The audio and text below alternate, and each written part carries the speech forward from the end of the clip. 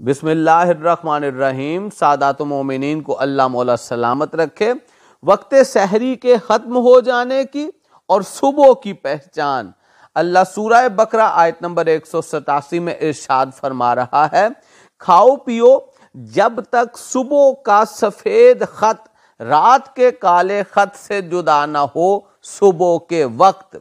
यानी अल्लाह ने साफ़ फरमा दिया है कि खाना पीना उस वक्त तक है कि जब तक रात, बिल्कुल रात जो है, अपनी कैफियत बदलना शुरू कर दे और उसमें सुबह नज़र आना शुरू हो जाए। ये सहरी के खत्म हो जाने का वक्त है, खाने पीने का खत्म हो जाने का वक्त है और यही माह रमज़ान में अजान का वक्त भी है। आइए एक हदीस है इमाम जाफ़र सादिक सलवातुल्लाह किताब फरू काफ़ी, जिल्द सोम, यानी तीन सफ़ा दो सौ उनासी पर इरशाद फरमा रहे हैं। जब सुबह सफ़ेद चादर की तरह नमूदार हो जाए तो उसे सुबह सादिक कहते हैं और रोज़ा का आगाज़ इसी वक्त से होता है।